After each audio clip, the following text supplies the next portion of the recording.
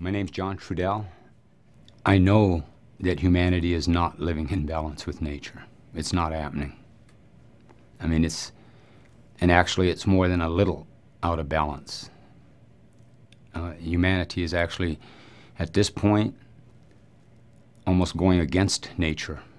It's beyond living out of balance. But I also think with humanity going against nature, that there's a small percentage, a small number of human beings that are behind this and driving it and imposing it upon just humanity in general. The, it reduces the opportunities for human beings to continue to participate in the evolutionary reality indefinitely. It's bringing a definite conclusion to the ability of the human beings to participate in this evolutionary reality. Because it's going against nature or the earth. I mean, you know, in, I mean, actually, in actual terms, you know, what, what the industrial man is doing is, is murdering the life support systems, murdering the water, the air, mur murdering the life that gives us the ability to have life. And that's really what we're faced with. We can call it poisoning the water or whatever you know, but in the end, it's, it's, it's like an act of murder, genocide in a way. Well, I think as human beings, we live in a technologic, perceptional, actual reality, where a part of that technologic reality is that the civilizing processes, it erases the memory of the human being. It erases the memory from the human being of being a human being. It's almost like a spirit, a, a, severing, a severing of our connection to any spiritual reality. And in, and in once that has been imprinted into the consciousness of the human beings, see, then I think that's what makes these other things possible. It isn't that we're, as human beings, we're bad. It's got nothing to do with our badness. What it has to do is, is that there's a program going on that literally feeds off of the being part of human, eating our spirit. All right, and, and in order for all that to happen, then these imprinting things have to happen to our consciousness, and a part of that is to erase the memory of the human being about being a human being. See, so we no longer participate in reality, perceiving reality as human beings. We partic- participate in reality as feeling as either like um, we're oppressed culturally, ethnically, gender wise, class wise, but we participate in reality from the eyes of being victimized and, and very fearful and insecure. We don't think like human beings. But the reason for that is, is because there's been a deliberate suppression of our memory of that identity.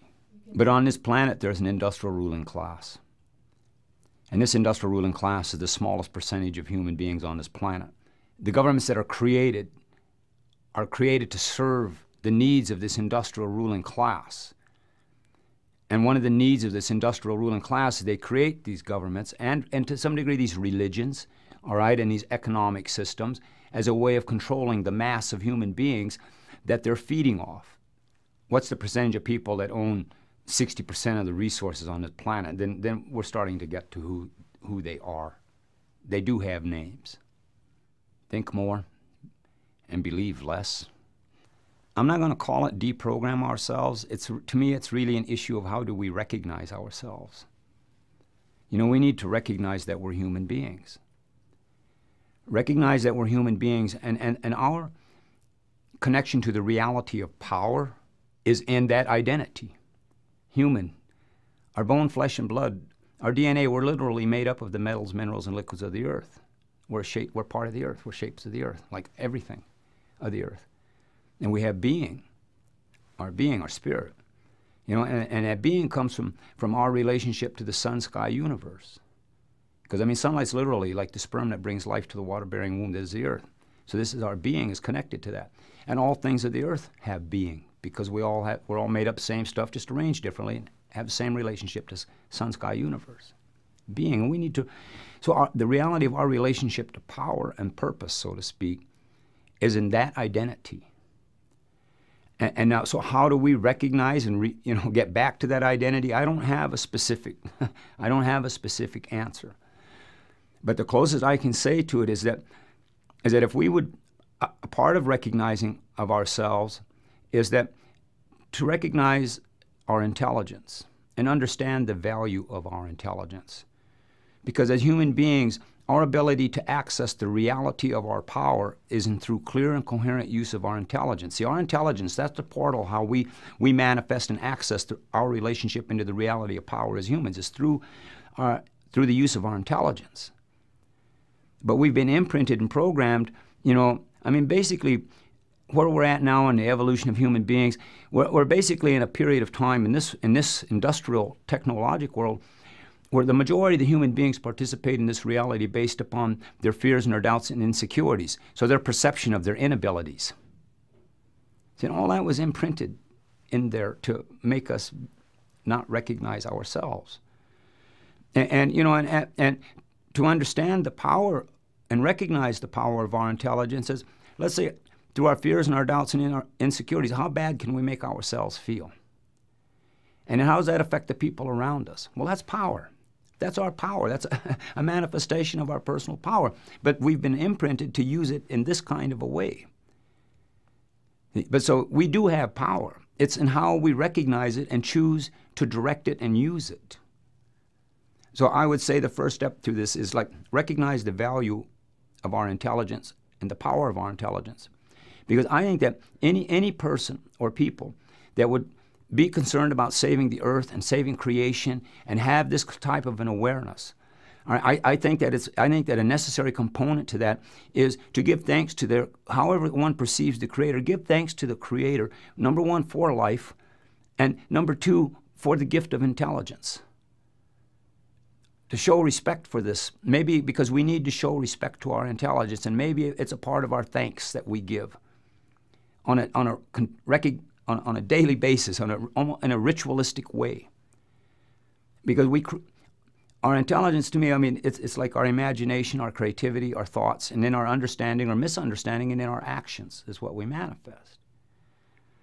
And, and I think that it's time for us to understand, look at, recognize, and attempt to understand the value of our intelligence because whatever struggle is ahead of us, if we are to, to participate, continue to participate in the evolu evolutionary reality as human beings, it's going to take clear and coherent use of our intelligence to do it.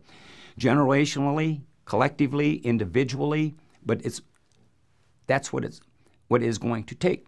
Everything that has ever been done to create these emotional uh, distortions in us has been done to keep us from using our intelligence clearly and coherently. Now, so so how do we deprogram or get back? I mean, it, it goes back to the very basic. You know, we need to recognize ourselves. We really need to recognize ourselves. Then we can synchronize all the other things in a much more synchronized way. No, I don't believe anything, right? Uh, uh, I, I don't trust the word or the concept. I think it's much more realistic to say either I know or I don't know or I think. Because be, for me, when I, I, mean, just I have to do this. I can't help it. Right? with the believe thing, it means it's like I'm not being. Why don't I just acknowledge I don't know, and in, and and and think about things? See, I think we should say. Think in terms of I think this rather than I believe this, because I, I think we'll activate the coherency system a little bit. Uh, about the bottleneck and the thing, you know, in the race to midnight, it's after 11. And what can be done about it, I think that we have time. I think that it can be turned around in two generations, but it's going to take clear and coherent use of our intelligence to think our way through this not to emotionally react to the bad guys because the, we emotionally react. We end up doing the same old stuff over and over again, and, and the bad guys just get badder and badder. That seems to be a historical reality. But also, a part of that historical reality is that every rebellion that goes on, our cause may be just and right and all of the good, you know, all the pretty flag stuff. But in reality, in every situation, we always, we were emotionally reacting by trying to challenge their ways by their rules. We weren't thinking outside of the box. But we've been programmed not to think outside the box because we've been programmed not to like ourselves and be insecure and this and that, so not trust certain abilities that we have. So we have to get past that. If we can just seek to be as clear and coherent with our intelligence as we can, and, and, and within two generations, see, we, because that will create answers and solutions to problems that exist that have no answers and solutions. Clear, coherent, responsible, initiated response to what is going on. That industrial ruling class, you know, they, they want what they, they, they want to keep what they have. They're on a very they're on an anti-life destructive course with with the future. You know, so for that industrial ruling class, they need to purge this planet of huge, tremendous numbers of the human population. And they're going to do it. I mean, that's what they're, they're setting it all in motion now. See, so that's where it's headed. And this is why, to me, it's, where, it's very crucial because I don't, I don't think that time is against us. Time is an ally. The real issue is are we time's ally? Will we take the responsibility to use our intelligence clearly and coherently? Not be overwhelmed by the idea or say, how do I do that? But just head in that direction to think things out.